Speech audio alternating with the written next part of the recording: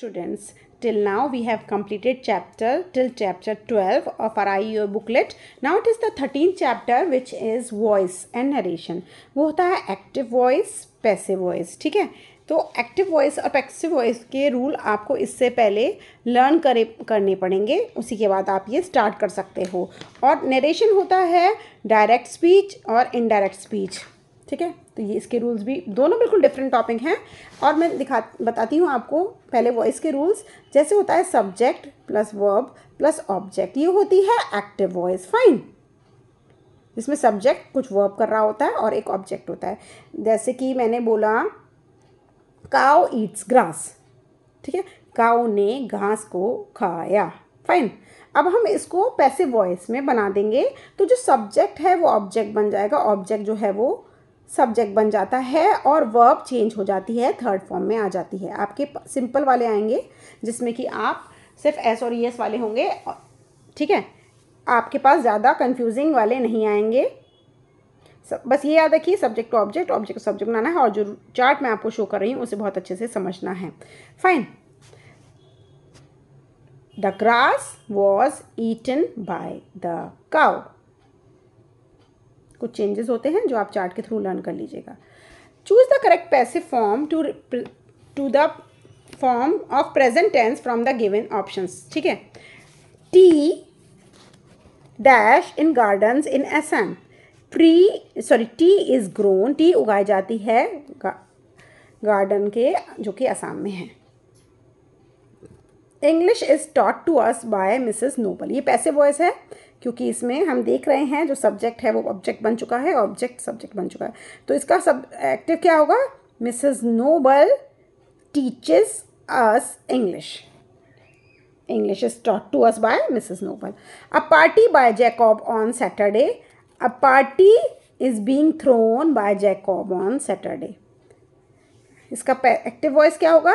Jacob is throwing a party on Saturday ठीक है? तो इसका हम पैसिव वॉइस बनाएँगे। रूल के अकॉर्डिंग ही आप जाओगे। Maize dash in rainy season by the farmer maize is sown maize उगाई जाती है, मक्का उगाई जाती है रेनी सीज़न में फार्मर्स के द्वारा। These shoes dash by the cobbler these shoes are mended by the cobbler cobbler mended these shoes these shoes are mended by the cobbler A gold medal to the topper in our school. A gold medal is awarded to the topper in our school. Is awarded. Beautiful flowers dash by the gardener in the front lawn of our school. Beautiful flowers plural number है ये देखना पड़ता है हमें singular है plural है plural है तो are grown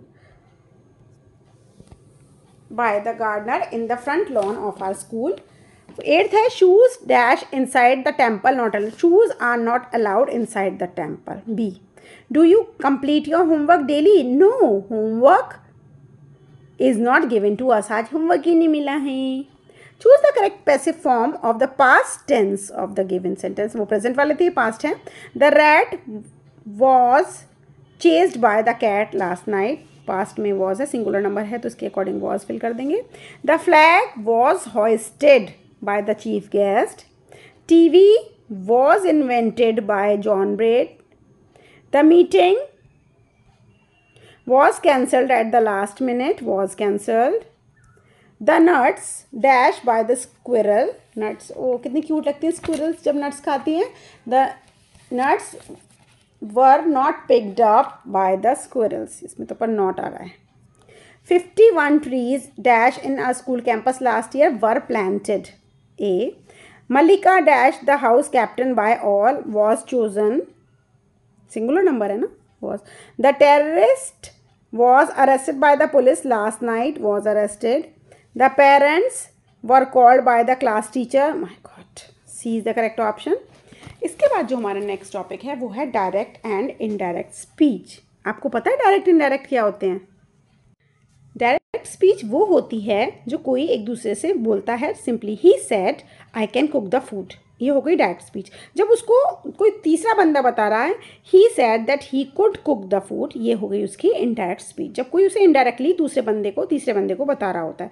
तो इसमें कुछ चेंजेस होते हैं बेटा.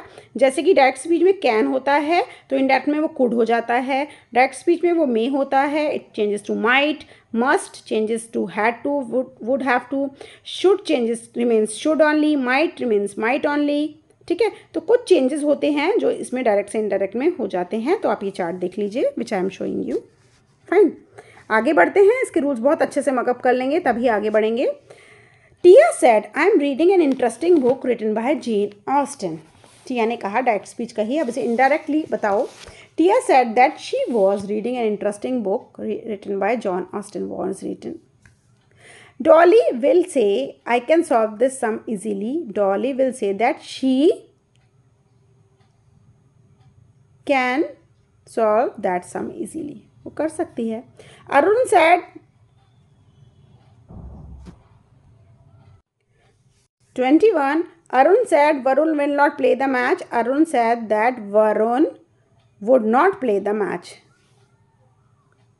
इसमें भी आप शी कैन नहीं शी कुड करो।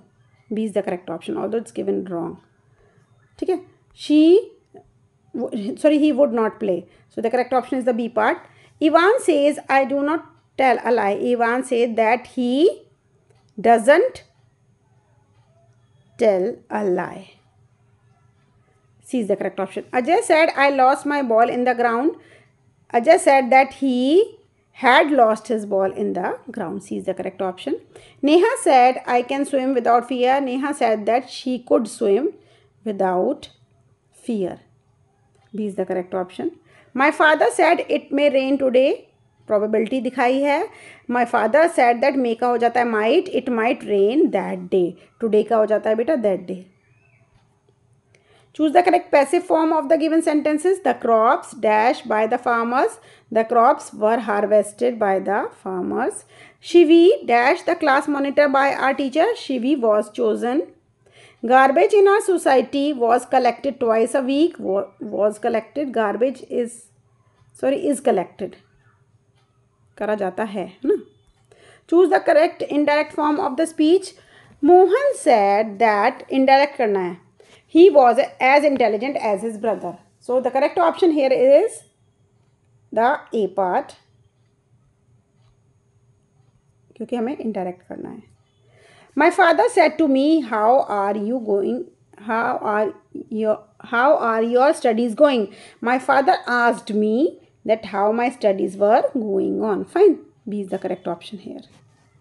Okay next video में मिलते हैं, जिसमें मैं डिस्कस करूँगी लास्ट टॉपिक है कॉम्प्रीहेंशन चिल्ड्रन मैं नहीं करा रही हूँ, क्योंकि comprehension will not be the same as given here उसकी प्रैक्टिस आपको अलग अलग बुक से करनी चाहिए। चैप्टर फिफ्टीन में सॉल्व करा रही हूँ, जो हो गया होगा, जो कि होगा spoken and written expression punctuation which is very very important अब तक के सारे वीडियोज़ तो आपने देख लिए होंगे, नहीं देखे हैं तो do watch them because ma'am has shown and given some very important tips which are very beneficial for you to be the I E achiever और आपके जो भी फ्रेंड्स क्लासमेट्स रिलेटिव्स आई में पार्टिसिपेट कर रहे हैं do recommend my channel okay bye